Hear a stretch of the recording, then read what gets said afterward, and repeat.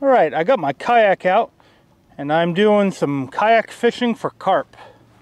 I can't fit a large net, a landing mat, or the rod pod on this kayak, but I can use my method leads. I've just got a mix of breadcrumbs, sweet corn, honey. I've added jello, like what Luke from Catfish and Carp uses, and someone commented on one of my videos saying to use cream style corn, so I've thrown some of that in there too, making a pack bait for the method lead. So I'm going to get these out in the water and hopefully catch a big carp. It would be nice to catch a trophy-sized carp so I can advance on the Tennessee Angler Recognition Program.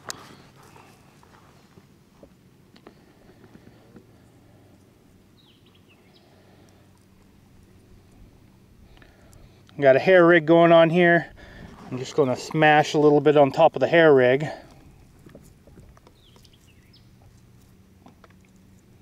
Just to hold it in place. And then a big gob over the whole thing.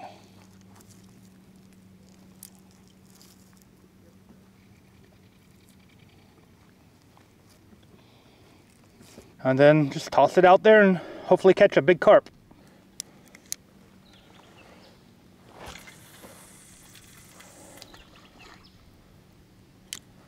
I'm going to leave the bait runner active. I haven't upgraded my tracks and these are just plastic tracks. If a big cat or a big carp grabs the line, it might rip the rod holder right out of the track. That's work in progress. I was told this area has a bunch of carp in it. So I'm to see if that's true.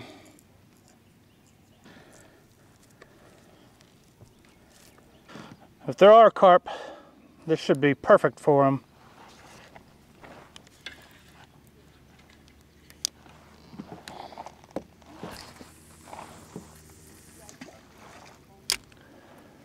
Oh, I got a lot of line twists going on. Right, it's a waiting game now. I got my holds type gripper on this pole. I also have an anchor in the water, trying to hold myself in place. a little bit of wind going on. I just hope it doesn't push my rod too hard against that pole. Don't need my new rods to get broken.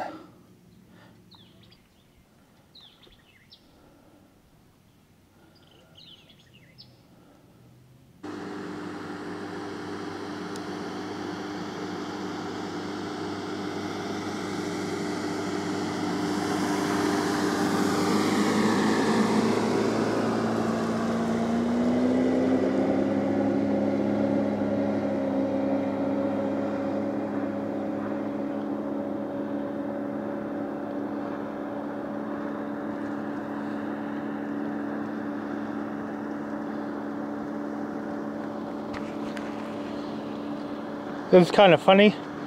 That's Milton Hill Bill right there. He's actually the one that told me there were carp around here.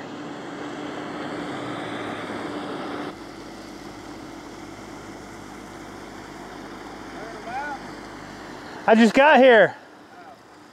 Nothing yet. Carp bait. You told me there was carp around here. In that cove? Ah, he was saying they were around those green buoys down there.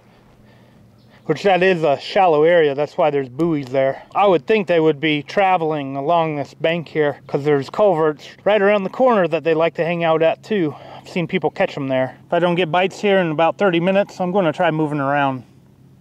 Big old pleasure boat. He's going slow, so I'm going to get hit by some big waves here.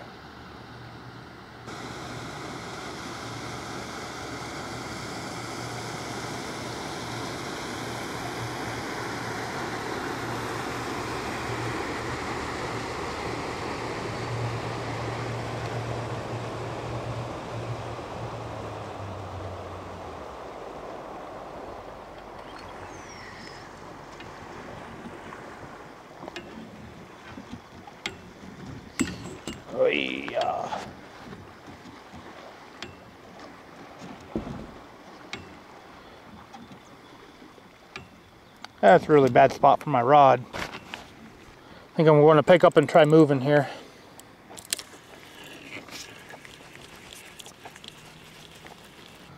This stuff doesn't last long in the water anyway. I'm going to try where they said they saw carp earlier.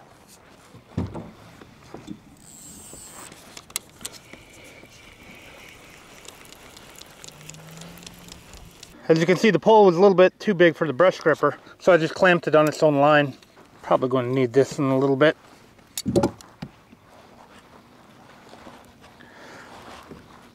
And the anchor, I just wrapped it around a little eye I have on the side of the kayak.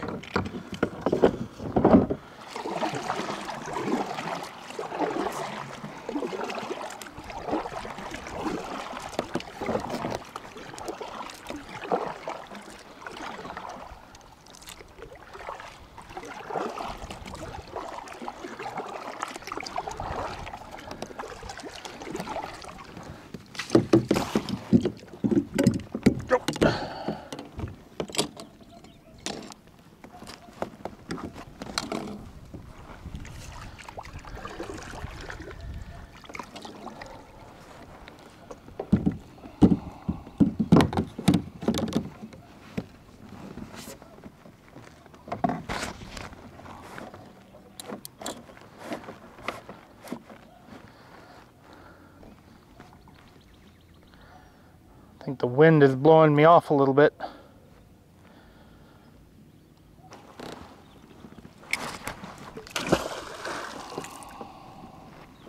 Hoping I can control this a little bit with the anchor. I think this is going to be as good as it gets. I'm going to cast the rods behind me.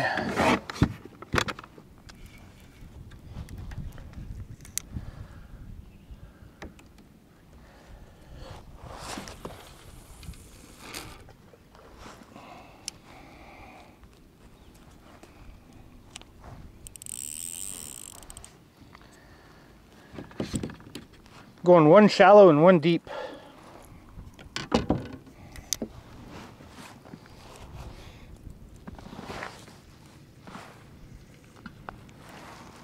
And now we wait again. Hope the carp they saw are still here. I think I just got a little nibble and now I got a boat about to pass me up.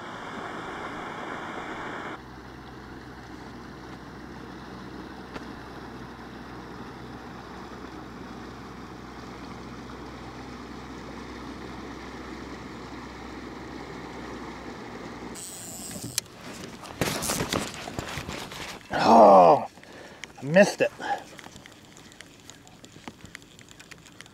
Whoa.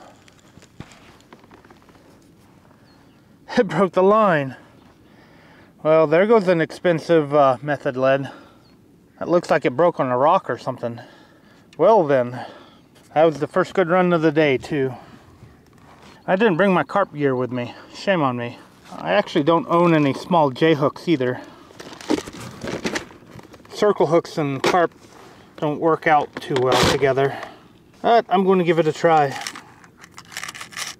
Because that's all I have right now. I don't have any treble hooks with me either. Although I know a lot of you don't like me using treble hooks for carp. I'm going to put a one ounce no roll sinker on here. I think this is called the Carolina rig. A sliding sinker, swivel, and a hook, circle hook. Uh, I'm going to treat this like a method lead and see if I can get this to work. I'm gonna hook some corn on here.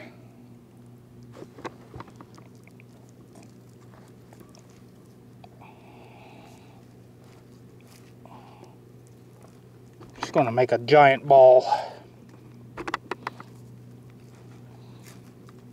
With the corn on the hook, they should take that hook in. Should eat it. I'll give this a try. Only had this thing like 10 foot behind me.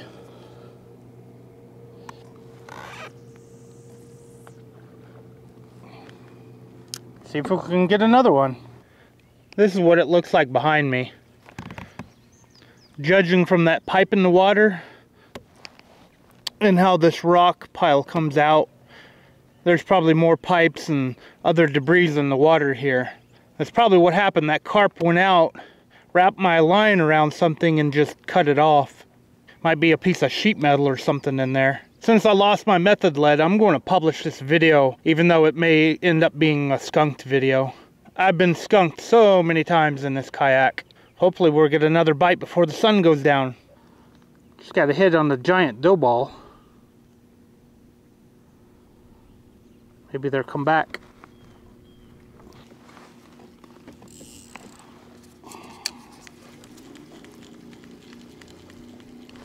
Whoa. There's definitely something down there. they cut my line again. There's got to be a big piece of sheet metal or something down there. That's not good. Well, I just lost a circle hook and a no-roll sinker. I think I'm going to move a little bit. I'm going to rig this up first. It's always nice to find a good spot and then have your line just break over and over and over again. Keep forgetting about my pre-made stuff and my rig wraps. See if I got anything small in here. I want, I want really small. There we go. There's really small. I love these rig wraps. Of course, I keep forgetting that I have them and not use them. Pre-snelled hooks. And these were straw snelled, not the easy snell. Hopefully I can move to a spot that's not going to get me broke off every time. And it's kind of funny that this rod on my left, it hasn't even been touched at all.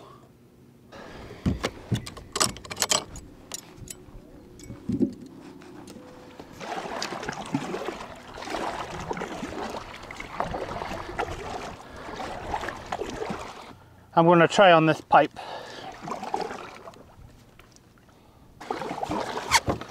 Should be able to grip it. There we go. See where the wind blows me and then I'll drop the anchor too. And I'm going to throw in that direction. Maybe if I'm on this side of whatever was cutting me off, I will get the fish without breaking my line. And I am going to be losing light fast here.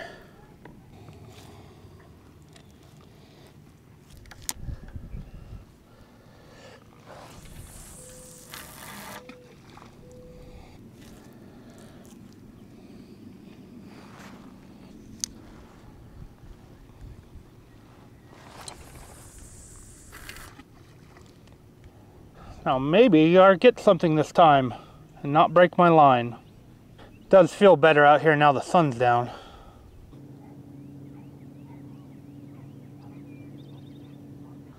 Something nibbling at the right one.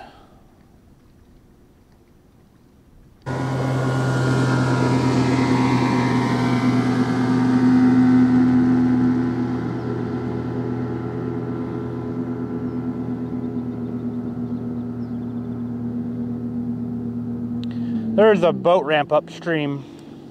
That's why there's so many boats here. I'm going to get hit in the side with big waves.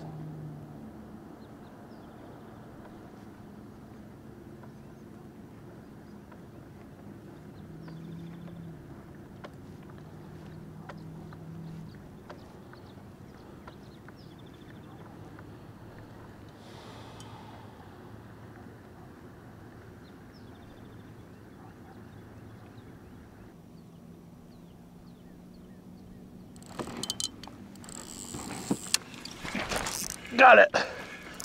Fish on. On the circle hook. He's got some weight to him. This might be a carp. Oh no, it's a catfish. Of course it's a catfish. Circle hooks work on catfish.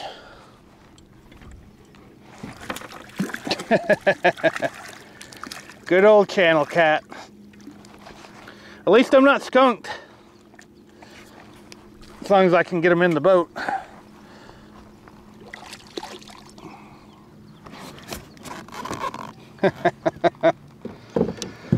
this may be the guy that's been breaking my line on whatever riprap's in the water. Well, it's not a carp, but I'd take a catfish any day. This kind of a typical channel catfish. Has that rounded anal fin. Forked tail. Alright. The fish that got the skunk out of the boat. These guys love eating carp bait. Let this guy go and hopefully he'll get bigger. I still need a trophy sized channel catfish. Whoa! And he's gone. Well, I'm happy to finally get a fish in without it breaking the line. Lost that expensive method lead and caught a catfish. There is stuff down there, look at that. I probably came close to losing this guy because this is pretty bad right here. I'm going to have to cut this line and redo it. And I'm going to do that later. I think I'm going to go ahead and reel in this other line and call it a day. I still have some carp bait left, so I'm going to try that another day. So be sure to subscribe to my channel. The next carp video or carp failure video will hopefully be next week or the week after. Thanks for watching again. Give me a thumbs up if you like this video. Time to paddle home.